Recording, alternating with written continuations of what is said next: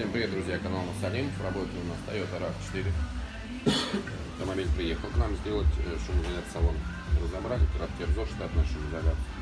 О, в багажнике несколько кусков фибропласта. Заднятки у нас голый металл. Автомобиль одни из самых шумных мест. Также двери.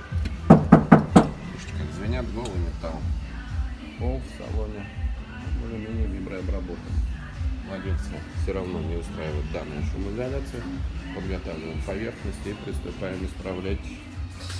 Так, друзья, закончили клеить вибропласт на RAV4, проклеен у нас пол в салоне, проклеены двери.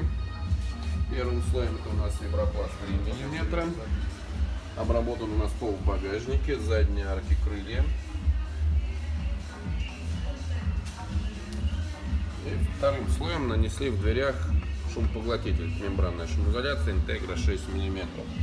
Продолжаем наши работы. Друзья, закончили клеить шумоизоляцию на RAV4. Проклеена с мембранной шумоизоляцией пол в багажнике. Используем Raptor 4 мм. Мембранную шумоизоляцию мы наносим на задние арки и пол в салоне. Используем блокшот 7 мм. Третий слой нанесли в дверях. Вибропласт толщина его 2 мм четвертый заключительный слой мы наносим на дверные обшивки. У нас шумопоглотитель, эксперт, толщина 15 миллиметров. Автомобиль готов, собираем, проверяем. Ставьте свои комментарии, подписывайтесь на канал. Всем пока!